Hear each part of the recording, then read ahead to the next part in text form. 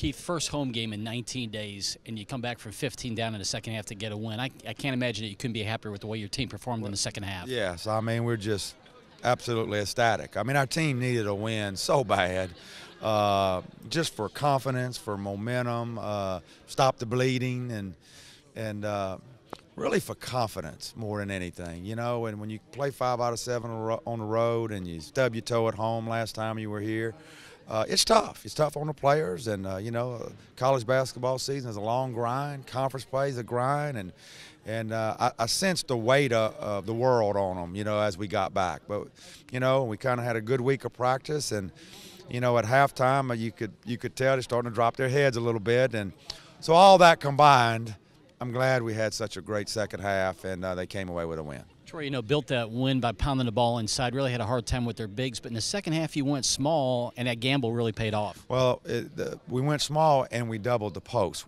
going small. That's what really uh, helped us there, and kind of took their low post play out when you do that, you open up the floor on the weak side for threes, and you hope and pray that the other team uh, doesn't make a bunch of threes on, on the other side, and and they didn't, and uh, made a few, but not many, and and then when they miss those threes, you got you not you don't have good rebounding position, and and uh, that's where Marvin Jean Pierre came in so big. I thought he got 10 defensive rebounds in the second half, so uh, every now and then this this kind of uh, defense and offense, five guards uh, will work for you.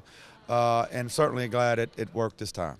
I don't know. Every every game or so, we get surprised by what Michael Ertel has done as a freshman, career high 22 points tonight.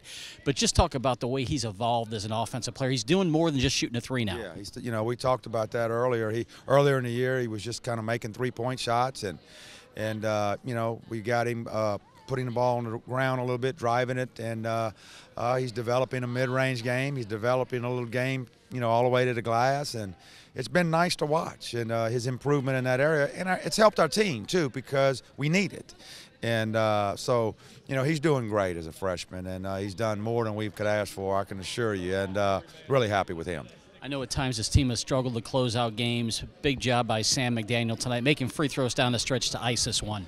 Again, when you when you play small, you you know you worry about uh, late game situations and. Uh, uh, but fortunately for us, you know, we kept scoring, and the free throws by Sam McDaniel were big. You know, that thing could have turned real ugly there for a minute had we had he missed, uh, you know, some free throws there. And and in the past he has, and and and here, and so it was nice to see him as a senior step up, make the free throws like he's supposed to, and us close out the game had played three straight conference road games. Now you're at home for a little bit of a stretch. How important is this moving forward to maybe build some momentum and confidence? Uh, very, very big uh, in terms of momentum and confidence. And and again, I'll say the confidence part maybe more so than anything.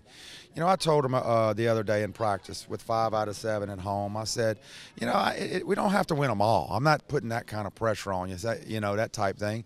But uh, but we need to get going in the right direction and, and, and prove that we're a team that can win. And uh, uh, and so confidence. And and I think in that locker room, that's what we saw after this game, and that should help us on Saturday.